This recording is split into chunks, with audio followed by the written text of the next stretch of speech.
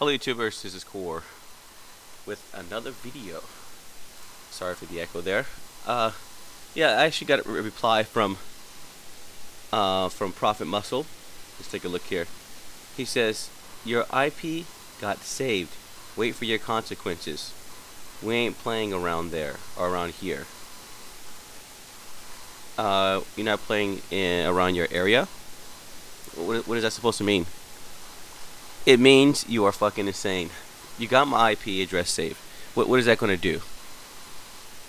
Do you think you can actually contact Japanese authorities to get my, my location? that is completely insane. Listen to what Kali Muscle has to say.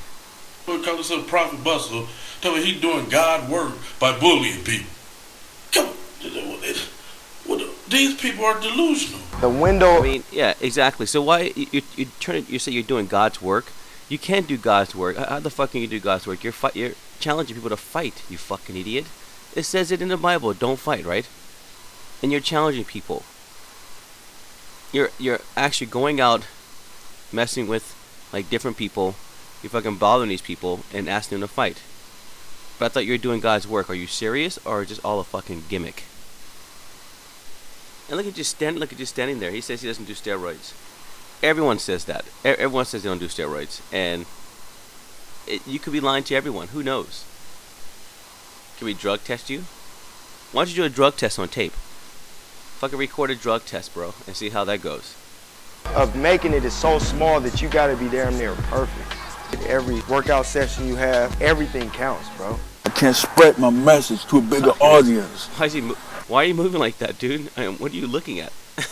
You know that steroids, that that hard work always be steroids, and that's exactly what I'm gonna do with this fight against Kosengo. It's like like he's surfing or something. I don't like. Why is he moving side to side like that? It's pretty. It's pretty scary. Because uh, this fight gonna be on a way bigger platform. So I'm actually Wait, was that a boxing glove? Let me go back. Is that? Right. Oh. Okay. That. Oh no. Let's see. that's exactly what I'm gonna do That's with this fight against Kosengo. Because uh, this fight gonna be on a Yep. Right there. You saw that? Let's go back. what I'm gonna do with this fight against Kosengo. Right. Because Oh, uh, this fight gonna be on. on a Right. Up. there it is. Yeah. There's a block right there. You can see it a bit. So he must have had his training session or something, and he's just going on YouTube. Thought he had a good sparring session or something, and or just came from hitting the bag, maybe in his backyard or something. Who knows? And yeah, now he's pumped. I'm gonna fight this Conseco guy. I, I have no idea who the fuck this guy is.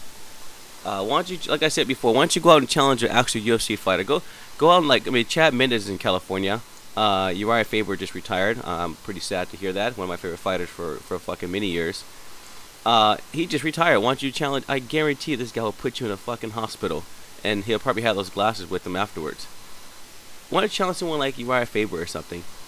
I mean, I, I'm not saying Uriah Faber doesn't, but I know a lot of UFC fighters, uh, they take steroids because I mean they're in the competitive industry, man. You have to fucking. Some people have to take them. I mean, do you work out three or four times a day? I absolutely, highly doubt that you do.